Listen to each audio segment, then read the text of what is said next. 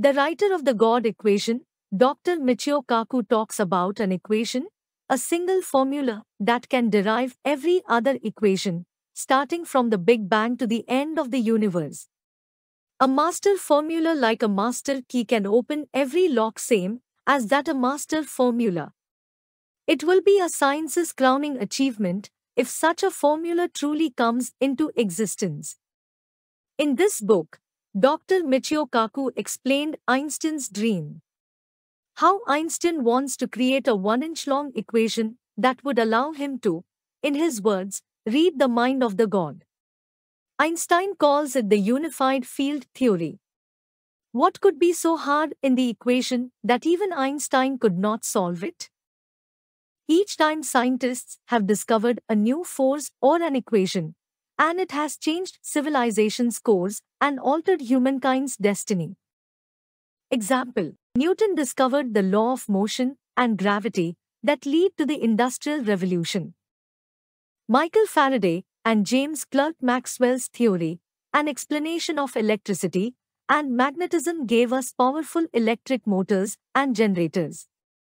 Einstein's theory of relativity, better known as E is equal to mc2, gave a different explanation of mass and energy and helped us learn about nuclear forces facts. Werner Heisenberg and many more helped to unlock the secret of the quantum theory. That helped the scientists of today to make supercomputers and make the internet much more efficient. There are four forces of nature gravity, electromagnetic force, strong nuclear force, weak nuclear force. By unifying all these four forces, scientists may bring all these theories into one single theory that may ultimately answer some of the deepest mysteries and questions in all of science.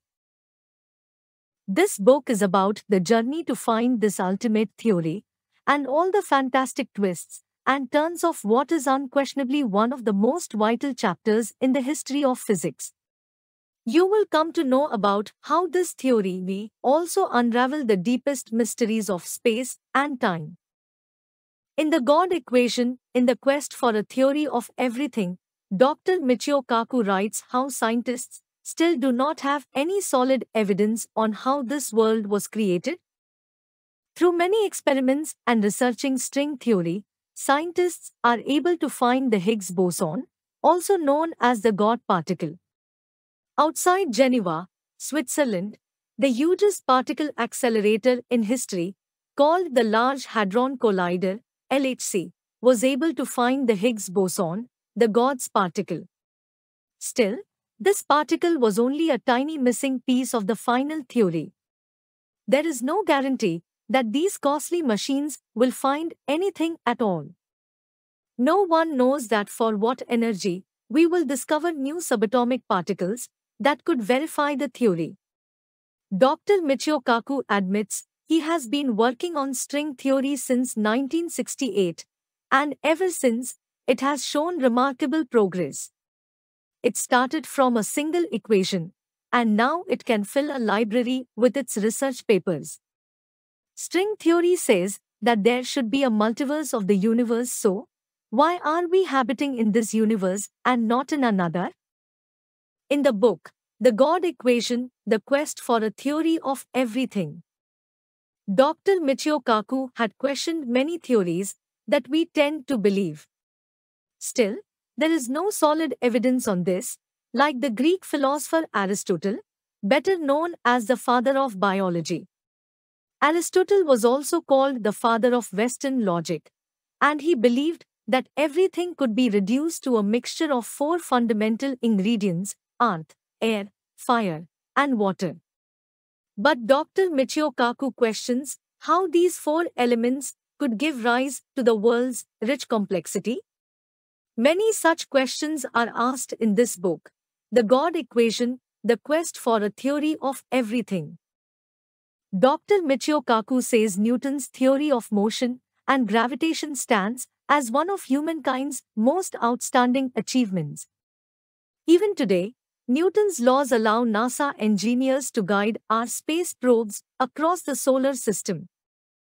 Now the answer to the question, why is life possible on Earth?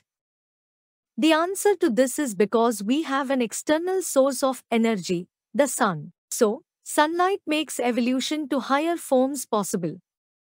In the same method, it is conceivable to use wormholes to open a gateway to the universe. Why do scientists fail to find the perfect equation? Alvin Schrödinger, one of the founding fathers of the quantum theory, has a proposal for the unified field theory that was earlier studied by Einstein. It failed because it did not reduce Einstein's theory correctly and could not explain Maxwell's equation. Over the years, scientists have ventured to add matter field to Einstein's equation, but they have been shown to diverge at the one-loop quantum level. More recently, there is a theory called loop quantum gravity. It investigates Einstein's original four-dimensional theory in a new way. However, it is a pure gravity theory, without any electrons or subatomic particles, and hence cannot qualify as a unified field theory. The conclusion on the God equation, the quest for a theory of everything. This journey of searching for the theory of everything has led scientists to find the ultimate unifying symmetry of the universe. We are like two-dimensional creatures living on flat land and unable to visualize the third-dimensional. Imagine a scenario. Once there was a beautiful three-dimensional crystal that suddenly, for some reason, broke into million pieces and buried into the flat land.